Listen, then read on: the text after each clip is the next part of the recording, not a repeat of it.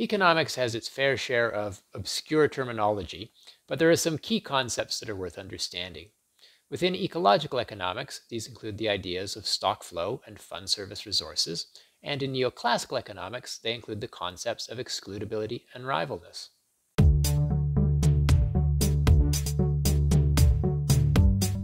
Neoclassical economics uses the term factors of production to describe the inputs to the production process that are necessary to produce the outputs. Typically, these are labor, capital, and maybe land if natural resources are considered. Ecological economics uses the terms stock flow and fund service to distinguish between two fundamentally different types of resources. It's probably easiest to just give you an example. When you make a pizza, you need a cook, a kitchen with an oven, and some raw ingredients. If you think about it, though, you'll see that the cook and the kitchen are different in some fundamental ways from the raw ingredients. The cook, the kitchen, and the oven are what we call fund service resources.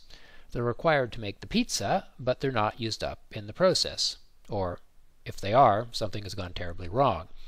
The dough, the cheese, and the anchovies are different. They do find their way into the pizza, and they're what we call stock flow resources. So how do we define these two concepts more generally? Stock flow resources are materially transformed into what they produce, and they can be used at almost any rate desired. Productivity for these resources is measured by the number of physical units of the product that they are turned into, and they can be stockpiled, and they are used up, not worn out.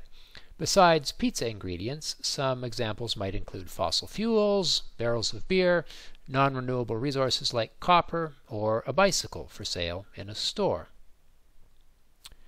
Fund service resources, on the other hand, are not materially transformed into what they produce. Instead, they are the things that do the transforming. They can only be used at a given rate, and their productivity is measured as output per unit of time. They cannot be stockpiled, and they are worn out, not used up in the process of production. Just think of the cook in the kitchen after a long day of pizza making. Besides human labor, other examples include land and sunlight. They also include a bicycle that you ride every day. So how can a bicycle be both a stock flow and fund service resource? Well, the classification depends on what the resource is used for. If the bicycle is just sold as a commodity and you can stockpile it in your basement, then in this sense it's a stock flow resource. However, if you use it to ride to work or to the university, then it's a fund service resort. Two other important concepts that are helpful for analyzing uh, resource use are excludability and rivalness. Excludability is a legal concept. An excludable resource is one where ownership allows one person to use the resource while denying others the privilege. Rivalness, on the other hand, is an inherent characteristic of certain resources. A rival resource is one where consumption of the resource by one person reduces the amount available for everyone else. So let's classify some resources as excludable or non-excludable, rival or non-rival. And in doing so, I want you to ask yourself, can I prevent you from using it? And if I'm using it, are you still able to use it? Let's start with a slice of pizza. This is an excludable and rival resource. If I own the pizza, I can stop you from eating it, and if I eat it, you're not getting any. The ozone layer, however, is non-excludable, and non-rival. Even if I passed a law saying only I could use it, you'd still benefit from the protection it provides, and similarly my use of the UV protection from the ozone layer does not lessen it in any way for you.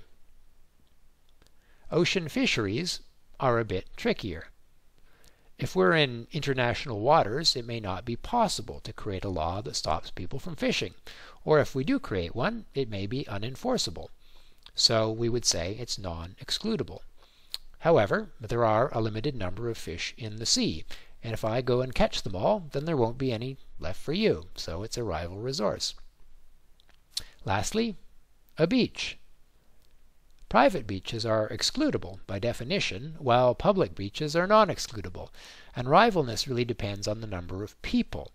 If there are only a few people on the beach, then it's non-rival. However, if the beach is packed, then it becomes much more difficult to find a place to put your towel, and this is what we call a congestible resource, and it becomes rival in this case.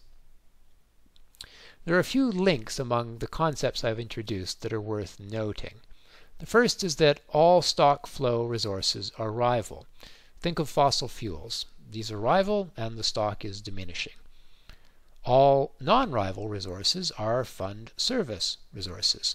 Think of the ozone layer. It's a non-rival fund service resource. However, the relationship doesn't go both ways. Some fund service resources are rival. If I'm riding my bicycle, you're going to struggle to write it at the same time as me. And lastly, if a resource is non-excludable and non-rival, it's what we call a public good.